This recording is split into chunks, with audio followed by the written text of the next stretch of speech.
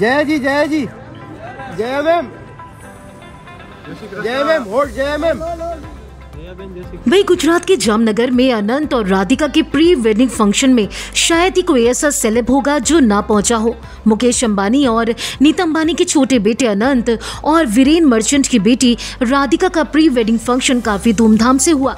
तीन दिनों तक चलने वाला ये फ़ंक्शन इसलिए भी चर्चा में रहा क्योंकि भारत के जाने माने चेहरों के अलावा विदेश के खरबपति, अरबपति बड़े बड़े स्टार्स इन फ़ंक्शंस में शामिल होते नज़र आए। पॉप स्टार रिहाना से लेकर दिलजीत दोसांझ तक ने ऐसी परफॉर्मेंस दी कि उन्हें अगले न जाने कितने सालों तक याद किया जाएगा।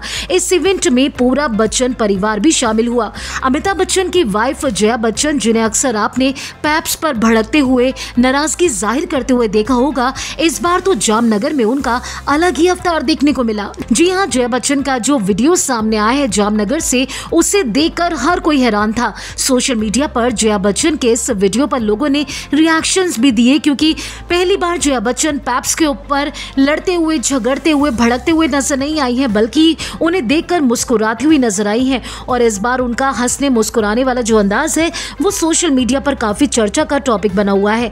जो लेटेस्ट वीडियो सामने आया है, इसमें जया बच्चन पूरे परिवार के साथ गाड़ी से उतरती हैं, लेकिन बाकी सबको पीछे छोड़कर खुद आगे बढ़ जाती हैं। वो पैप्स की तरफ़ देखकर मुस्कुराती हैं और आखिर में जाते जाते बाय भी बोलती हैं। अनंत और राधिका मर्चेंट की शादी में उनका ये रूप देखकर यूज़र्स काफ़ी हैरान है। ये वीडियो वायरल होने के बाद आप देख सकते हैं, लोग अपने अपने तरीके से रिएक्शन दे रहे हैं। किसी का कहना है कि पहली बार उन्होंने स्माइल की तो किसी ने लिखा कि, अरे, इनको क्या हुआ?